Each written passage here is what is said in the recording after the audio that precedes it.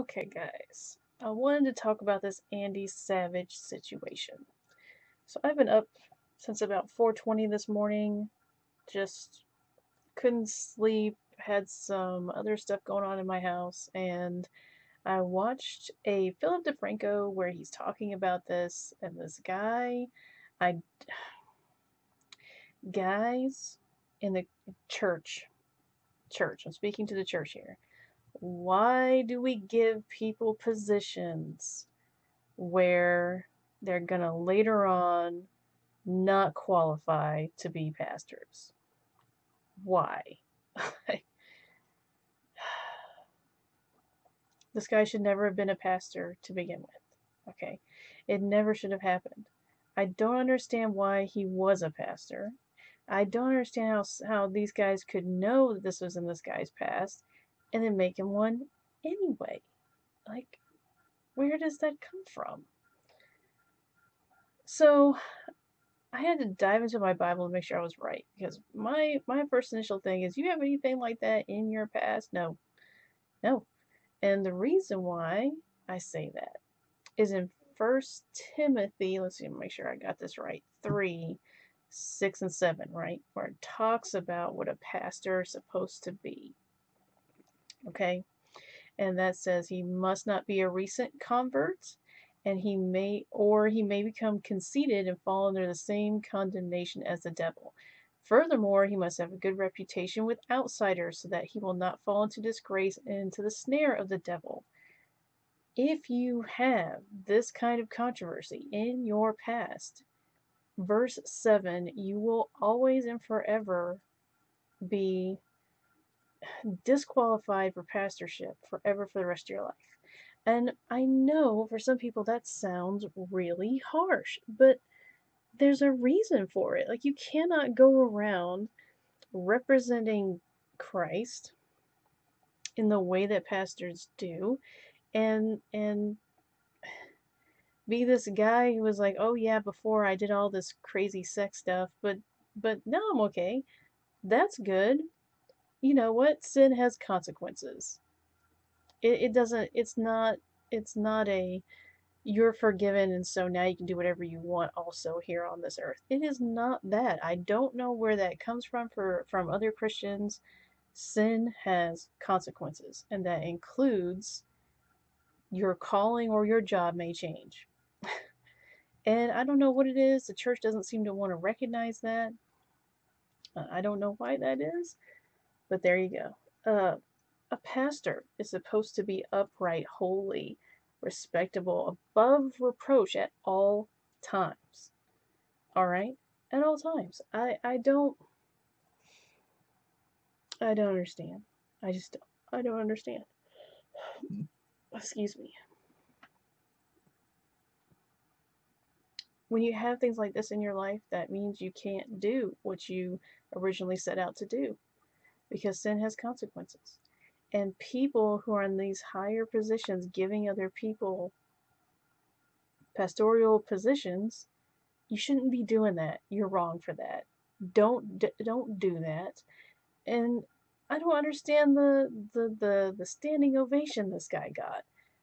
Why Christians are we giving people standing ovations? Admit your sin, do that but don't clap for these people. Like, if I were to admit I stole something, no one would give me a standing ovation for that. That is so weird. That is so weird. Like, I don't even get that at all.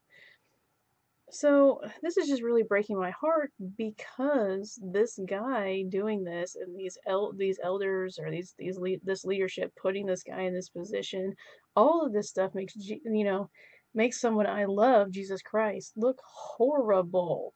Makes him look horrible. And that's part of the reason why you're supposed to be above reproach. And this this stuff is crazy. I don't know what's going on with the church nowadays, but it seems like we're given these these guidelines in the Bible and church doesn't want to follow them.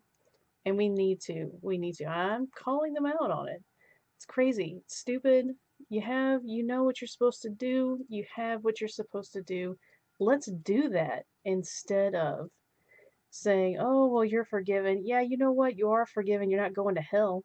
But that doesn't mean you don't have consequences in the here and now. I mean, that's insane to think that. I don't understand why this guy didn't go to jail.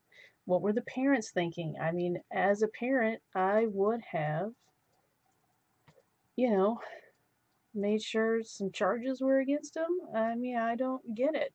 I don't understand it. Just because someone is part of the church doesn't mean they don't go to jail, like, especially for this kind of stuff. There's so much I don't get about the church and what's going on in this situation because none of it's biblical. It's not biblical to give this guy a position. It wasn't biblical for him to not go to jail. It's it was not biblical for any of this to happen. So I don't know. I just want you to know.